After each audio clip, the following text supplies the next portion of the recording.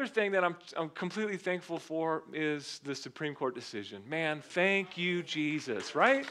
Oh, thank you, God. I, just to be honest, and I think you guys were probably there with me, I never thought I'd ever see that happen. And, and man, by the goodness of God uh, and His sovereignty, this has happened. And, and so, you know, with that said, I mean, I don't know. I don't know where you stand. You might be thinking, you can't talk about pol- politics from the pulpit. Well, to me, this isn't politics, it's the truth of God's word. He's the one that's revealed to us our value in the womb, even. And so to stand for life is an awesome thing. Now, before we start, I want to take a moment to pray for because, of course, with a victory like that, the, the enemy hates it. And we're seeing it pretty, pretty openly. I mean, in, in the social square, personally, I've been set free from Facebook. I've been off Facebook for like half a year, and I don't plan on going back. So if you get on my account and say, "Hey, dude," I uh, I'll just go. I don't know. You have to just maybe my wife might see it. I don't know, but I'm not. I, am just. I'm thankful not to be there. But all that to say, there's there's a lot of kind of threatening stuff coming from those people that are, uh, for lack of a better word, pro-death. So and I, and I, and and the the kind of comments that are saying, you know, if we can't do this, then we'll come after you. And so let's just take a moment this morning and really pray for the covering of God over those places that stand for life, Amen. over those facilities that are there. Uh, for, for young pregnant women to come and get help. We're, we're going to pray protection over them and that God would keep evil from coming. Amen. So, Lord, we come before you this morning. You are the one true and living God. And there is power in you, God. And we ask that you'd cover these places. We ask also that you'd, you'd strengthen and fortify, Lord, the words to Joshua be courageous, do not be afraid. God, that they would, they would be bold for the truth and they would be bold for life. And God, we pray a hedge of protection. We pray mighty warrior angels to surround those places, God, and that the angel armies would encamp and that you'd remind them of those words of Elijah to say, Look up to the hills and, and have your eyes open because there are more with us than with them. So we praise you, we cry out to you, we thank you, God. In Jesus' name, amen. Amen. Now, if you would grab your Bibles and open with me to the book of Galatians, we're picking up in chapter 4 this morning, right in the place where we left off last week. Makes a little sense.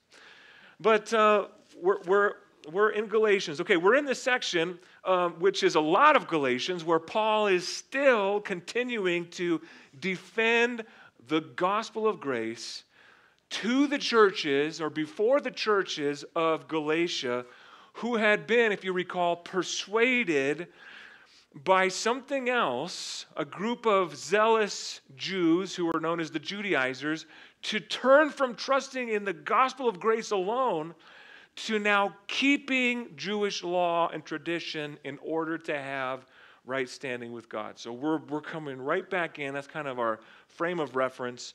This is what's happening.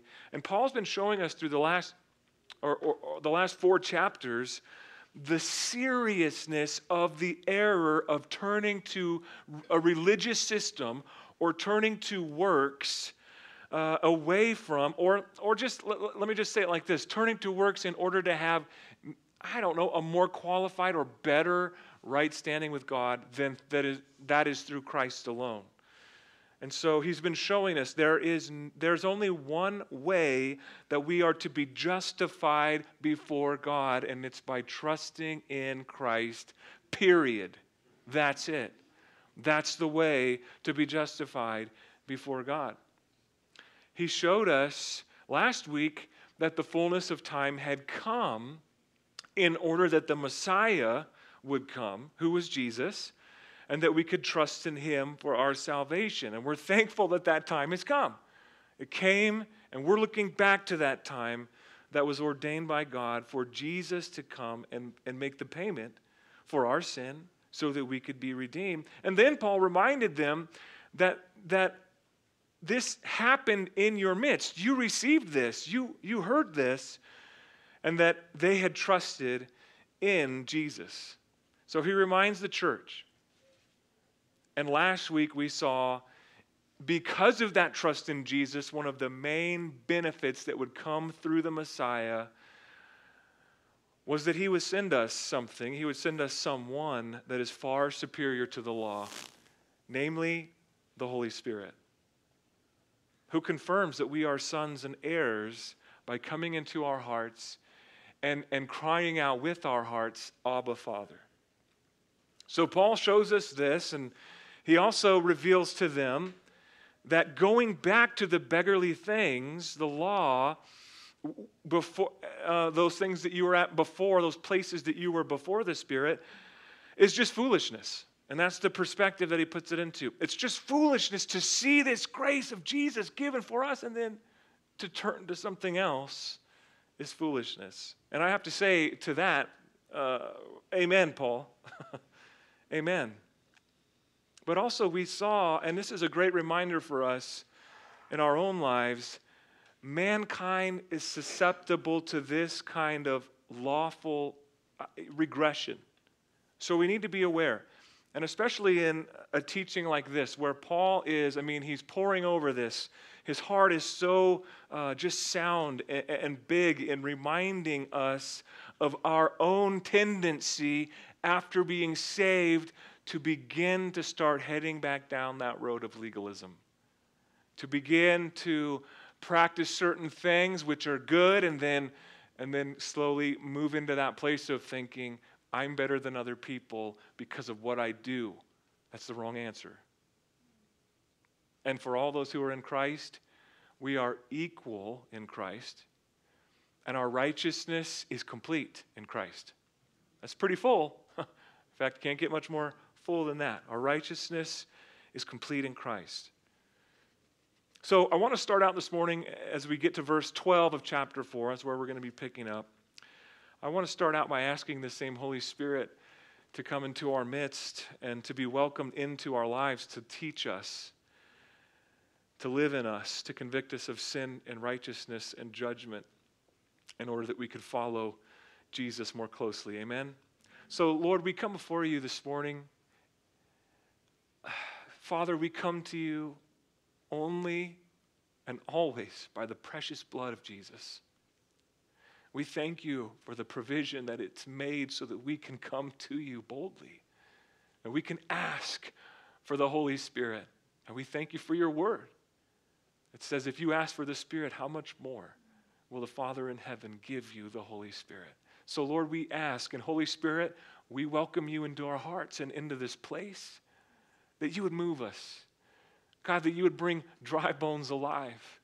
God, that you would awaken our hearts and our souls to walk after you, not in the letter of the law, but in the fullness of the life of the Spirit of God, by the Word of God, and by the precious blood of Jesus. We ask these things in Jesus' name. Amen. So, sort of along this same line of thinking, Paul, he gets in, he, he changes his mode just a little bit, and he's, he seems to be going more now in this little section we're going to look at this morning into the heart of a shepherd. So, this week we have a heartfelt plea to the church at Galatia, or the churches in the region of Galatia, to follow Jesus. And we're going to start with verse 12, just verse 12 here at the beginning. Verse 12, Paul says, Brethren, I urge you to become like me, for I became like you. You have not injured me at all. Now, if you just read that, you'd be scratching your head. I'm not exactly sure, Paul, what you're talking about. Seems like a few statements contradict each other there, and then we're talking about injury. I'm a little bit confused. Well, uh, in this verse, Paul makes three different interesting, uh, heartfelt statements and this passionate plea. The first thing he says there in verse 12 is, Family, I urge you to become like me. It's a pretty interesting and, and powerful statement that he says. And if you're familiar with Paul, you know that he says this in a different place in the scripture, only he words it a little bit differently. It's in 1 Corinthians chapter 11 verse 1 that Paul says, "Imitate me as I imitate Christ." Which is uh, kind of to say, Follow me. Come with me as I go follow Christ. Imitate me as I imitate Christ. Now, it, it kind of almost could make you think is Paul being pride, uh, prideful or proud here to say, you guys just need to be like me? I don't think that's the heart of Paul. If you think back into the opening of Corinthians, I believe it's Paul that says, guys, there's a problem. You're saying, I'm of Apollo, I'm of Paul, I'm of Cephas. No, we're all of Christ. It's not about me, it's not about you, it's about following Jesus. But Paul is giving a sincere and heartfelt call to say, Come on, follow, don't follow the Judaizers away from the gospel, away from the new covenant, but follow me into the new covenant, into following Christ. Imitate me as I imitate Christ. Which kind of brings a few thoughts into my mind.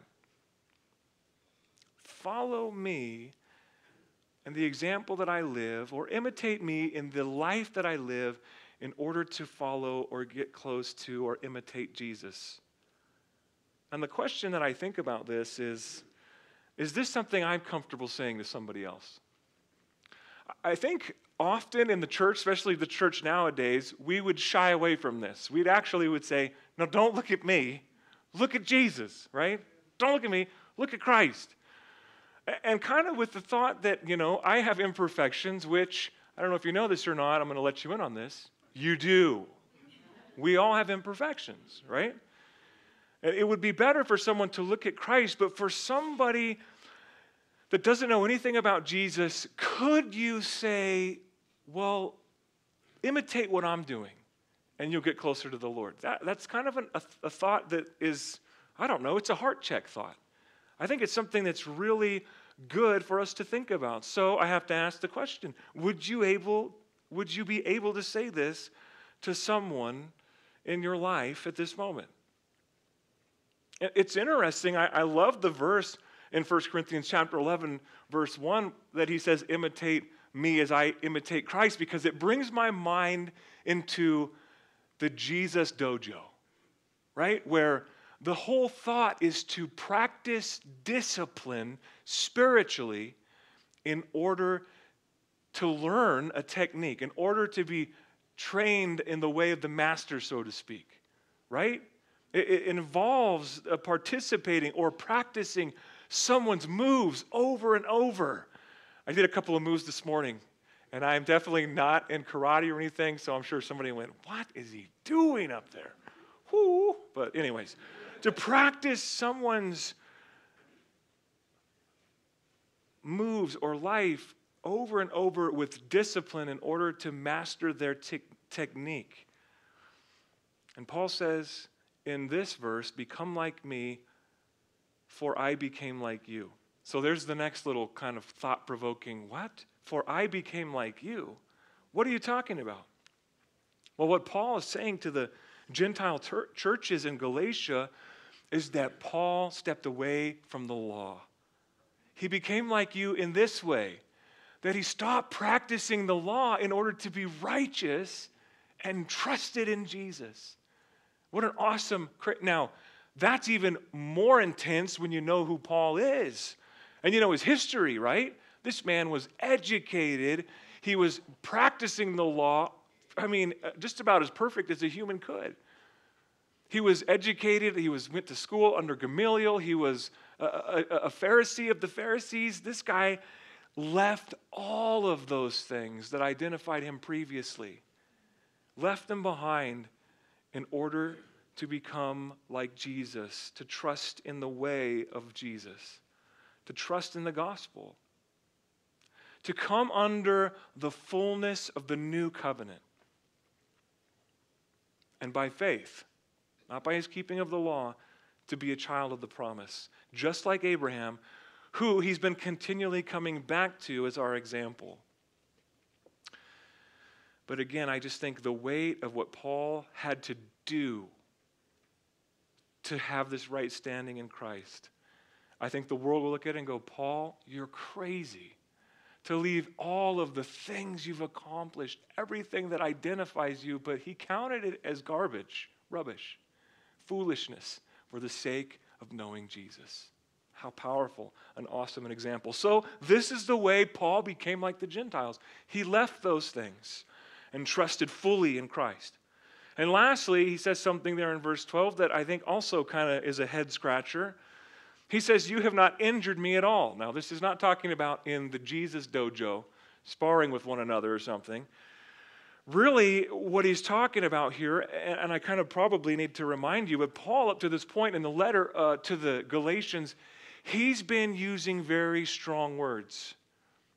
He's been using very strong analogies. He's called the church that he loves and the churches that he's started and encouraged in growth fools.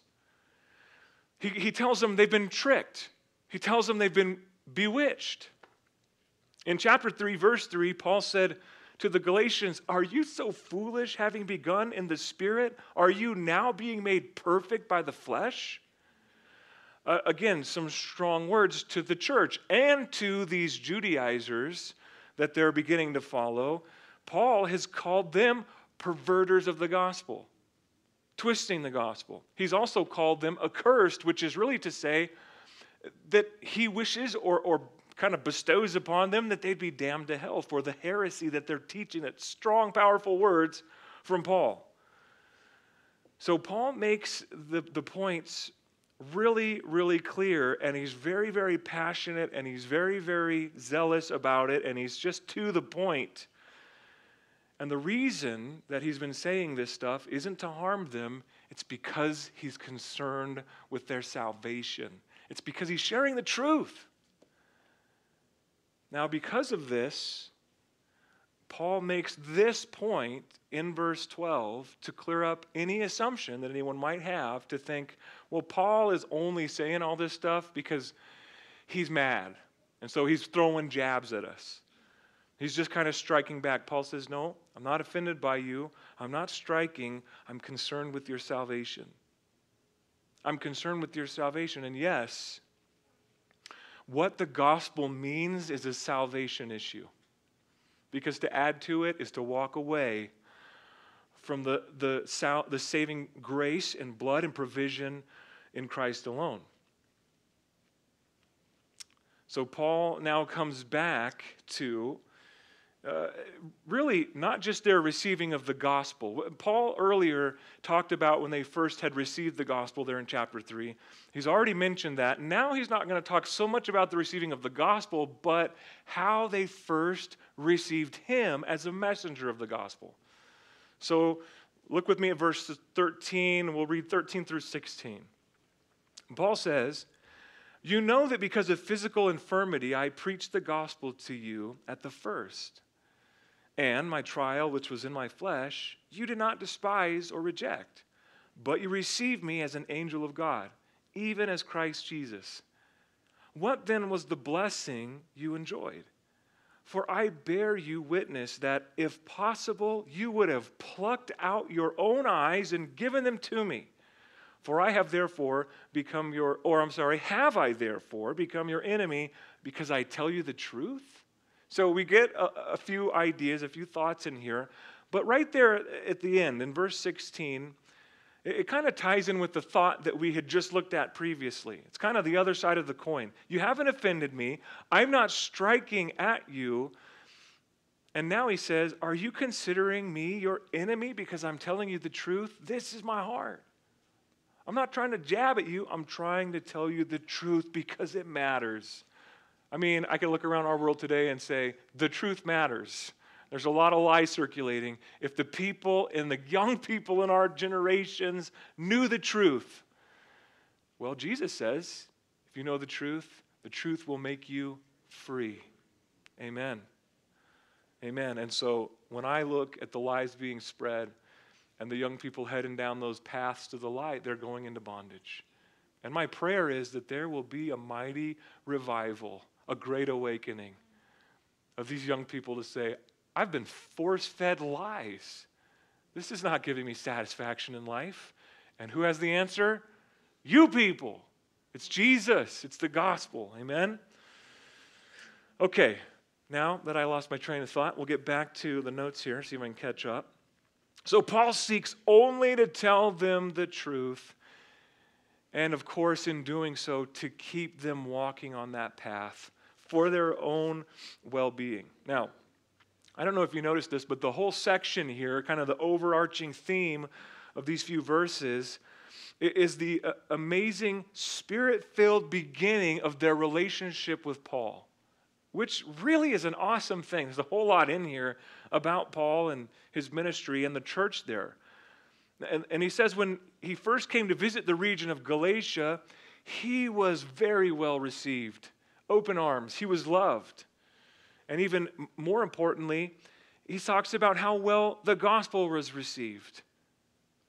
But Paul starts out by giving us a little insight here into his life that we really don't get uh, a whole lot of anywhere else. And that is that as Paul is on his missions trip, his mission journey, he got sick in some way.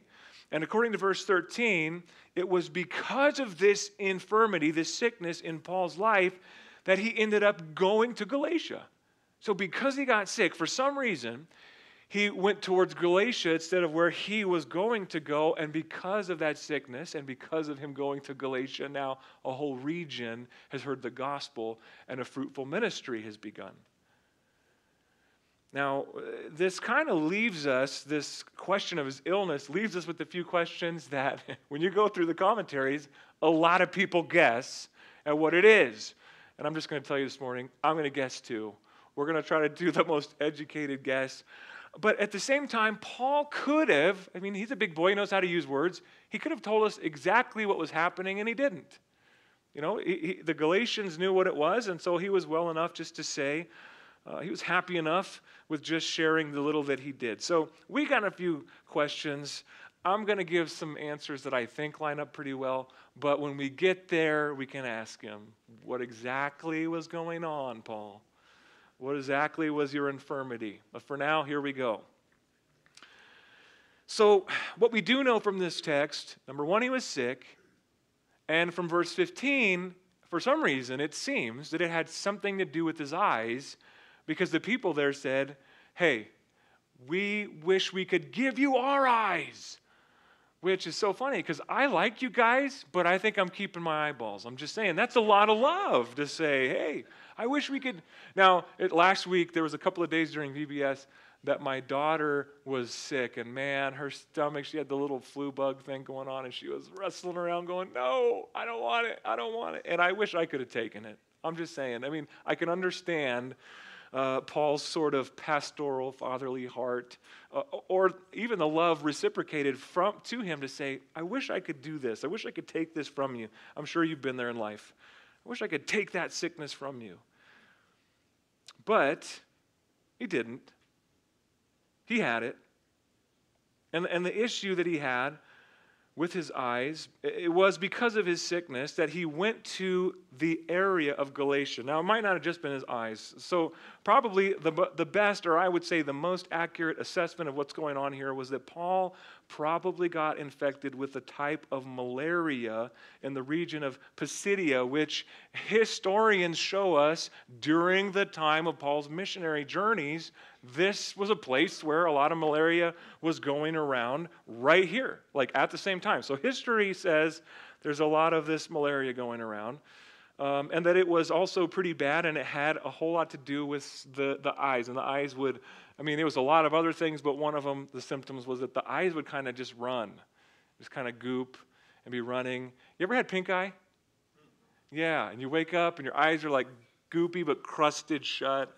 Oh, you just, and you just, ooh. And, and I don't know, man. It sounds like from the text that Paul was looking pretty rough when he showed up. But they still accepted him. They didn't say, ooh, Paul, gross. Go away. They accepted Paul and they accepted his gospel. So, so he gets to this place. Now, why would he have gone to Galatia because of this malaria? Well, I guess the area of uh, Pisidia there was a pretty marshy area, a lot of humidity, and it seems that because Galatia was sort of on a plateau, it was about 3,600 feet higher in elevation, it would sort of be like, hey, you need to get out of this, this weather and this humidity. You need to go up to the area of Galatia. Now, it reminds me of something. I don't know if they still do this today. Maybe they do, maybe they don't. But back in the day, the doctors, if you had asthma and you lived back east, they'd say, You need to move out west, get into some dry climate. In fact, that's why I'm here, because Mama was having asthma, and the doctor said, Go out, get out of this swampy area of Texas, and move into Arizona. And so here I am before you today. Again, just like Paul, by the will of God, he had plans that we didn't know about. So thank you, Lord. But it's just one of those things. And I don't know if that's exactly what happened here, but something along those lines. But what we do know from the text is God used Paul's sickness, his difficulty, his trial, to take him to a place that he normally wouldn't have gone so that the gospel would go to a group of people in a region called Galatia.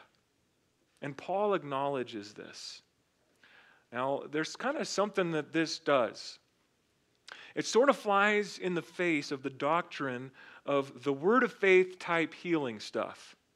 That it, it, poor Paul, if he would have just had enough faith, he wouldn't have been sick. Well, according to Paul, if I wouldn't have been sick, I wouldn't have learned that I can trust God in anything. And also, I wouldn't have learned that I needed to go to Galatia and met these people and this, these churches wouldn't have started. And you think about this, Paul did pray, and I'm not sure if it was this exact same ailment, but Paul did pray three times that his thorn in the flesh would be taken away. But he learned that God's grace is sufficient in his time of need. Amen. I mean, it's just kind of like the Word of God is, is true, where it says that if you go through trials that produces character and patience. It's an awesome thing, but Paul was definitely a man of character, and he saw through the cloud to see what God was doing in his life. He had the faith to trust God even when it was hard. God had a plan to work all things together for good in the life of these Galatians and in the life of Paul. So Paul reminds them of how they didn't despise his illness, but they received him and they showed him a whole bunch of love. It says there in verse 14 eh, that it was as an angel of God and even as Christ. Now, really quickly, I mean, Paul didn't show up. He didn't have wings. He wasn't glowing. He wasn't a small baby on a cloud playing a harp. Paul is saying, and what does an angel of God mean? A messenger of God. He's saying, You, you, you, you accepted me as a messenger of God, even though my life was a mess. And then in verse 15, Paul calls them to remember all the blessing of it, of them receiving Him, and like them receiving Jesus, how, how amazing and accepting they were of Him and of the gospel. And so Paul shows them all of this stuff, reminds them of what awesome people they are and how they accepted Him. And now they're looking at Paul and they're upset with Paul. So Paul's kind of bringing them to this question So, what changed? I didn't change. What happened in your life? Or I would say, namely, this it seems like you've been persuaded by someone in a different way. Because now it seems like I'm your enemy. But I tell you the truth. Paul tells them the truth in regards to the gospel and in, the, in regards to the working of the law. And so now Pastor Paul moves on to tell them, to bring to their attention here's what changed. And it was these Judaizers. They've gotten in with you, they've put in additions to the gospel, which, by the way, he already said is not another gospel. In fact, it takes the gospel of grace and puts works into it that you got to keep in order to have right standing with God. I don't know about you, but that's not good news. To have to work and earn some sort of perfection before a God who is actually perfect takes me back to the Ten Commandments. Thou shalt not lie. I'm busted. Right off the top. You shall not steal.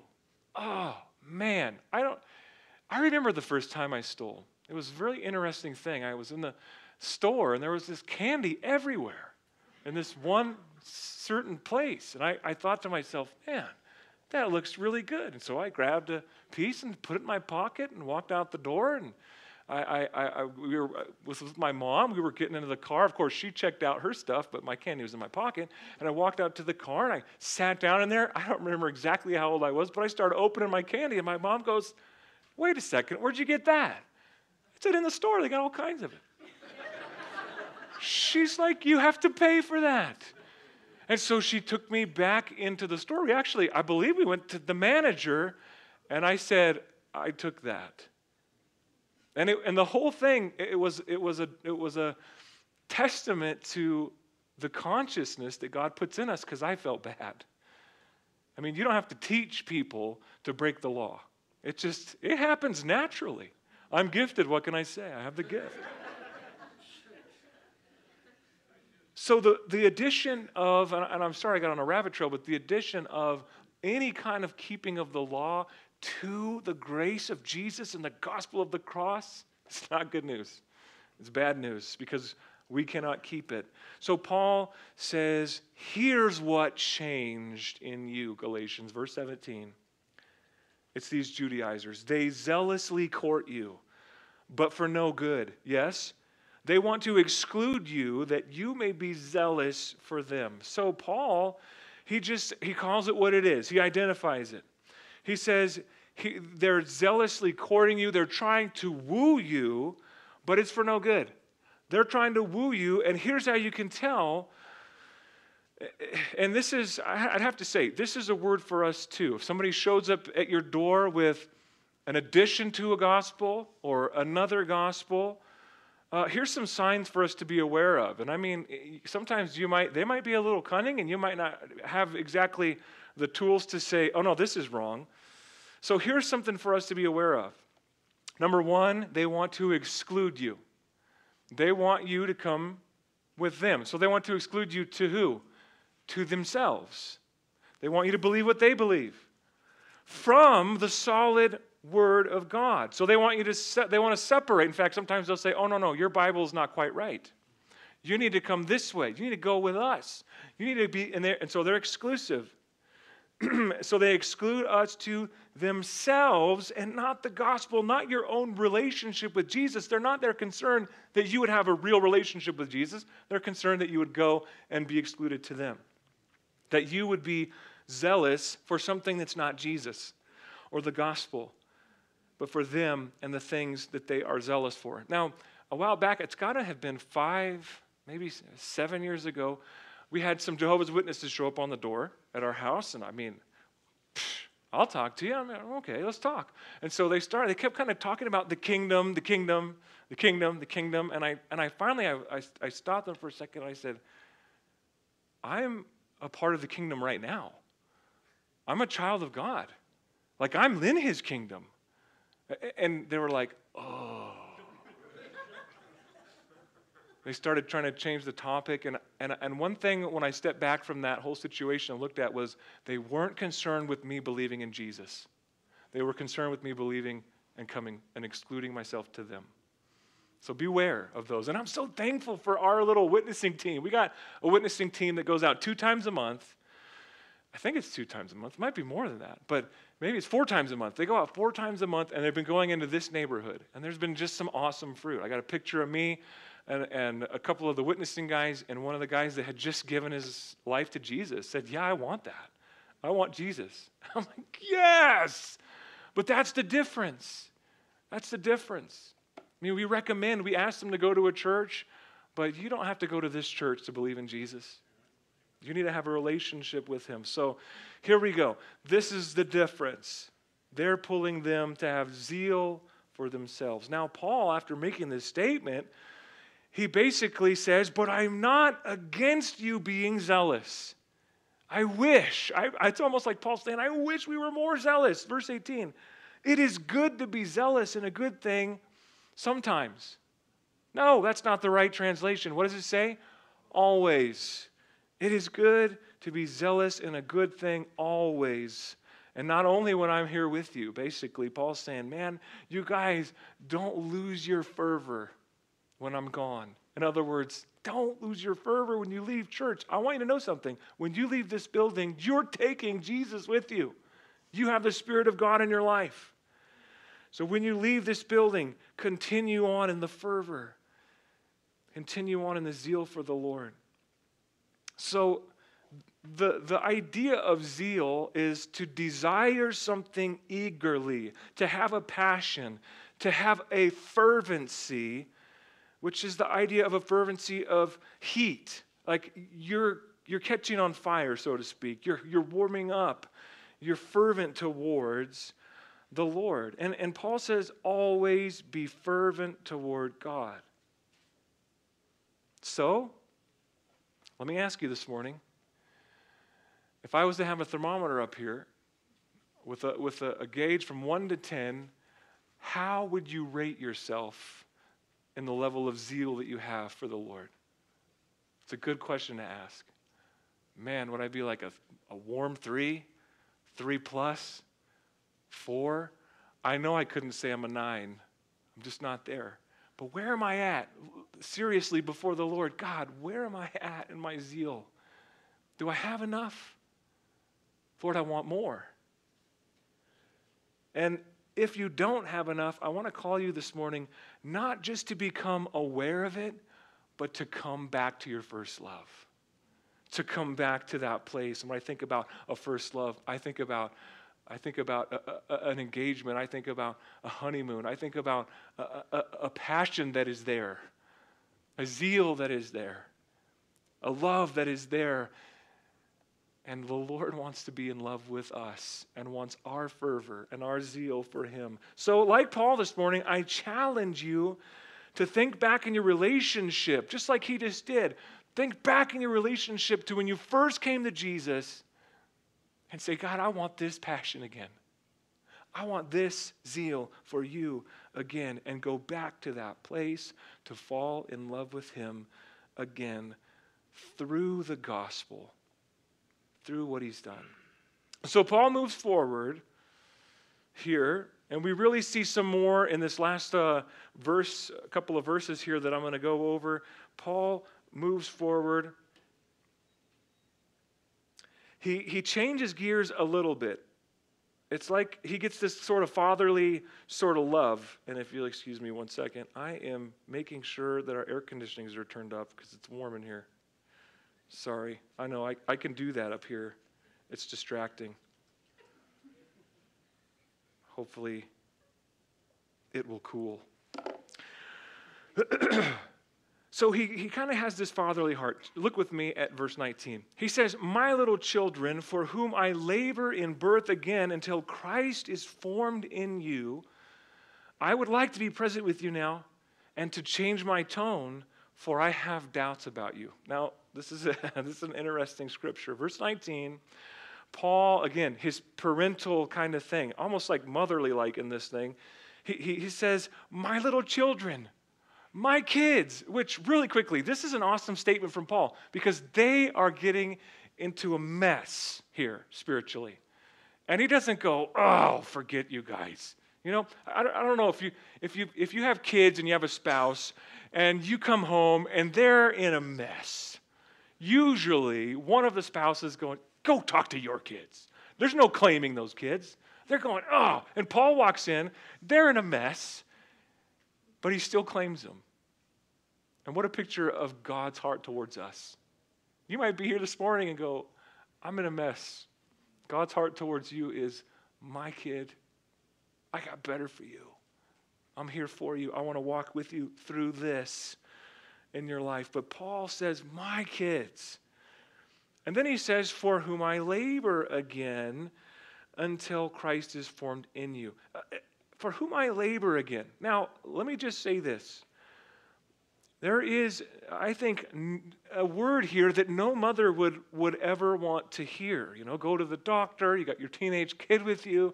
Doctor says, you know what you need to do is you're going to have to labor this kid again he's going to have to come out one more time. Pretty sure my wife would look at my son and probably say, Oh, no, you ain't. Mm-mm. Not going to happen. But this is what Paul is saying. He's claiming them as kids, and then he's saying, Currently, I am back to laboring for you again because you've taken that seed of the gospel and you've begun to forsake it to walk after something else. But the difference is, Paul's not laboring here that they might be born. It's interesting in the text, he's kind of he's laboring that Christ would be born in them. That Christ would be born in them, that he would be formed in them. Which kind of carries the idea that these churches in Galatia, when they were turned to from Jesus and the gospel to the keeping of the law with their own righteousness, it sort of carries the idea that they left that, they kind of miscarried the gospel, so to speak. And now Jesus needs to be born in them again in order to bring them up into the maturity in Christ. So then, in verse 20, we see here Paul's heart to be there. And he knows, he understands letters are, are good and they're needed and they're, they're helpful, but they're, they're not as good as the presence of somebody being there. He wishes he could be there, and one of the reasons is because he can't hear, they can't hear the tone of his voice in a letter. And, and, this is one of those things that I think you might be a little bit familiar with. Have you ever been guilty of receiving a text and interpreting the tone of the text wrong? Usually it's one of those things where you sort of guess a tone and then you assume a tone, and then you're going, I can't believe that person would say that to me and how they said it. I could just imagine what they're saying. And then you go talk to the person and they're like, that's not what I meant at all. I was saying it like this. And then you go, oh, now I got to go talk to the three people that I told that you're a jerk, you know? because it can get it, it can get us into trouble when we assume a tone on a text. So often I'm like, "Oi, I'd rather just call." This is, in fact, when that happens, a lot of times I'll go in, "Okay, enough. What's going on? How's it going?" You know, instead of trying to figure out and assuming, "Oh, these evil people texting me. so Paul just he says this is something that happens and I know you guys hearing this I wish you could just hear my tone because I want to change tones. Now, really I look at this and I think honestly I'm not sure which way he wants to go with his tone. It sounds like he's coming from fatherly to saying I want to change my tone because I have doubts about you people. But Paul wraps up here he wraps up with another example to them in verses 21 through 31 of what their sin looks like on them. It's a great analogy. We're not going to get to it this morning. We're, we're going to wrap up this morning right now. So I want to ask Beth to come up uh, and lead us uh, in, a, in a song this morning. But as I think about the text that we're looking at, as I think about the heart of Paul, and as I think about his challenges to us. The challenge is to imitate Christ. The challenge is to follow, challenges even to make disciples, to be willing to ask someone to imitate us as we imitate Christ. That's a, that's a hearty challenge this morning. I, I challenge us to bring our hearts before the Lord. Let's all stand this morning and as, as we get into this song, there's, there's one more thing that I wanted to mention from the text, and that is back to that place of the zeal that we should have as believers for our great Savior. And I just want to challenge us to come to a freshness in that zeal, to come back to the first love. And I think about that first love, and I think about the analogy of, of Christ being the groom and, and the church being the bride. And, and I think so often I, I think of the church and I think of my own life and I think, man, what a sad marriage it would be if the groom is excited for the bride and the bride came in and everyone's like, oh, is this the best day ever? And she's like, eh. Groom's cool. It's all right. And man, I look at the world and the church in America and I think that's kind of what the church, the greater church in America is like. Ah, yeah, it's cool. God, would you light our hearts on fire? God, I pray this morning you forgive us of our complacency of looking around this world to things and thinking they would satisfy us. and forsaking our first love, our true love. God, that we would come back to you, that we would have a real passion. And on that day that you come for your bride, that we would be passionate, that we would have a longing, we would be excited. And not only on that day, but as we live this life, that we would have that zeal, that salt, that light, that attractiveness to the world around us that so needs your love and your truth. God, light us on fire. We pray, we, we thank you, we praise you this morning.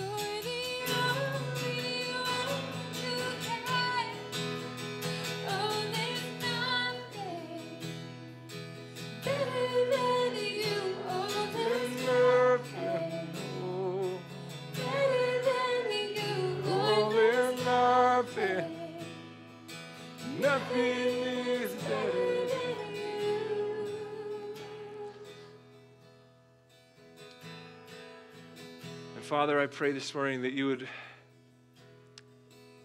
forgive us, Lord, those times that we lose our fervor, God.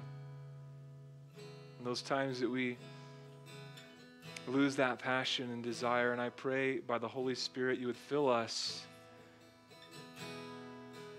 that you'd baptize us afresh in your Spirit. God, that we would walk this life pleasing to you, Lord. And not by our own strength and not by keeping of the law, but by a relationship with you, but by abiding in you. For apart from you, we can do nothing, but with you, we can do all things. And we thank you for that truth. Lord, we, we just ask that you would fill us now.